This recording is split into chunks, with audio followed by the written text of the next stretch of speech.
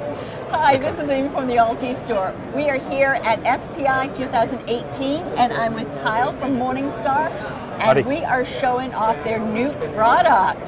MultiWave inverter charger. So give me the uh, the gist. What, what's going on with this? Sure. Well, it's a product we're really excited about. Uh, been in the works for a couple of years now, and finally uh, getting ready to come out the other end of the engineering department. Um, it's a four kilowatt inverter charger, um, rated for up to 60 degrees Celsius, uh, down to minus 40. So real, Wow. uh, real wide operating temperature range, Yeah. um, just like you know, just like the Morningstar reliability you're Right. used to. Uh, two AC inputs, both grid and genset. Um, an option for all the balance of system you need for up to two charge controllers in- integrated. Um, a standard meter interface, uh, and my personal favorite feature, no fans. Just like every other charge controller you're used to from Morningstar. Right. So that that explains this huge heat sink up Yeah, there. we put fantastic. we put a lot of a lot of work and a lot of design and, and some cost certainly into the engineering of the uh, aluminum, um, which is bonded directly to the power electronics stage behind uh, behind the heatsink. Okay. Gives us really good thermal transfer and lets us operate at a high temperature, nice. um, even up to 45 C, full rating. that is amazing. Full rating. Full rating. Nice. So tell me about the, the display setup here. Uh, so we decided to include a standard meter, um, included in every model, just so that you don't ever have to worry about adding it as an option. Um, the the four button interface is similar to what we've designed in some of our charge controllers. Yep. It carries over into this.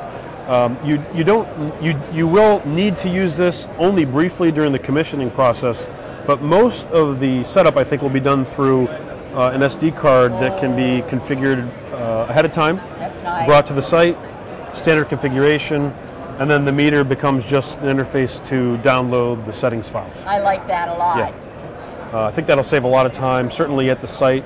No more memorizing menu positions and where to find certain settings, although it's there if you need it, Right, uh, won't right. go away.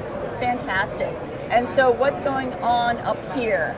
So we've reserved, there's a DIN rail behind the, the faceplate, um, reserved for what we're calling uh, BOS blocks or, Yep. or, or, or logic blocks um, that will add functionality to the product over time. So at launch, we'll include a two-wire dry contact um, GenStart module, Nice. really an all-purpose module Right. just for controlling um, you know, an external device or starting and stopping a simple genset.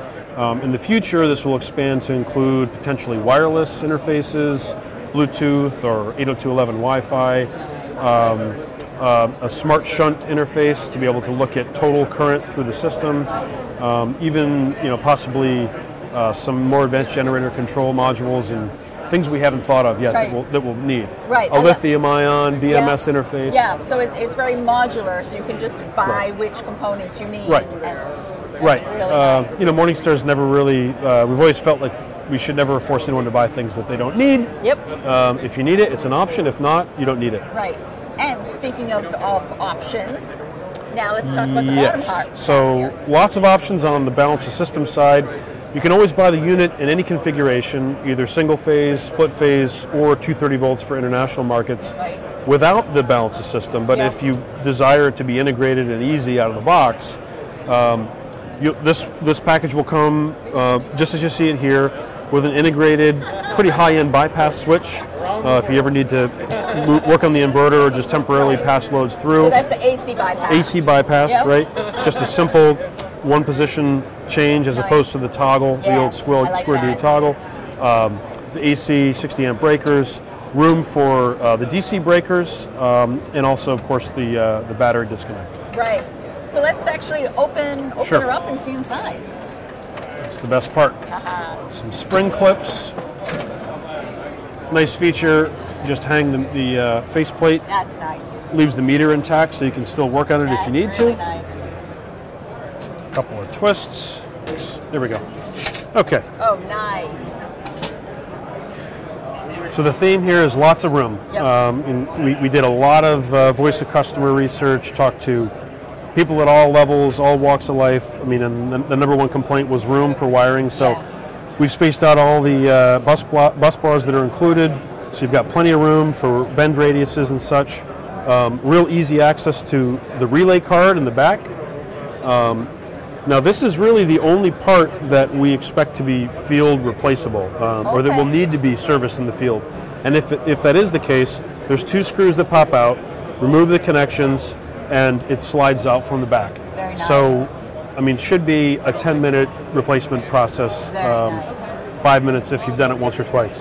Um, and of course, the power electronics stage. A little hard to see, um, but, but mounted up underneath the heatsink. And that's it for electronics. There's a couple of um, toroidal transformers that sit behind the heatsink, Okay. and that gives us the surge capability. But what's noticeably absent is the big, heavy transformer that adds the weight. Yeah. Um, this is more of a high frequency hybrid design that will just, um, you know, simply eliminate about 30 pounds, I think, out of out of. oh, that's nice. Um, and then we've, we've got our DIN rail here for that for the Yeah, BOS. plenty of plenty of space for Yep. the BOS expansion, Yep. um, as well as space here. Now these actually were custom custom made DIN rails. We weren't quite satisfied with the standard. Uh, there was too much flex, Right. so we built a bit of a heavier duty extruded Nice. aluminum DIN rail. So feels pretty pretty beefy and industrial. Yeah. Yeah. So this is great. And then we've got knockouts on on both sides. Right. Um, knockouts galore. Um, batteries on the side. Um, really, I think here, you know, you're talking about a couple of connections, maybe even some Ethernet connections to this four-port Ethernet switch. Right. But on the sides, there are four plates. Not so easy to see from the front view, but Yeah. four plates which are optional mounting locations for your TriStar charge controllers. Nice. Um, they can be mounted in either position. The hole locations match with the, the edge of the, the side of the TriStar, and so the, the routing of the wiring is, is as seamless and as uh, you know clean as, as we could make it. Um, you could, I suppose, in theory, add up to four, uh, but we've given you the space in this configuration for balance the system for up to two. Right. Right. Um, but if you can if you can accommodate additional breakers and such, there's really no limitation to how much solar you can add.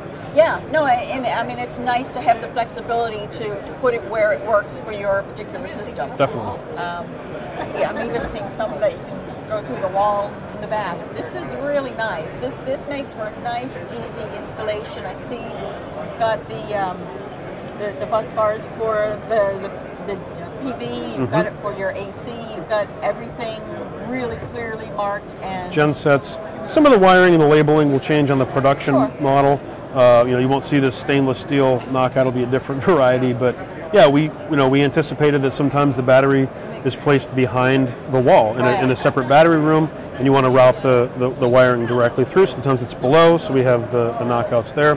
Tried to accommodate anything we might encounter in the field and, and avoid the call from the installer where they might say, "Why did you do it this way?" You know, that's uh, that You was the number one goal. Do that. um, so, in summary, 4,000 watt inverter. 4,000 continuous, available 120, 240, 230. Mm-hmm. with or without the balance 60 system. hertz, 50 hertz, with or Correct. without the um, the breakers. Yep. That, that sums it up. Uh, fanless. Fanless. That's one thing to remember. Fantastic fanless. That's great. Well, thank you so much. Absolutely. This is Amy for at the Altis store, and I'm here with Kyle from Thanks, Amy. Morningstar.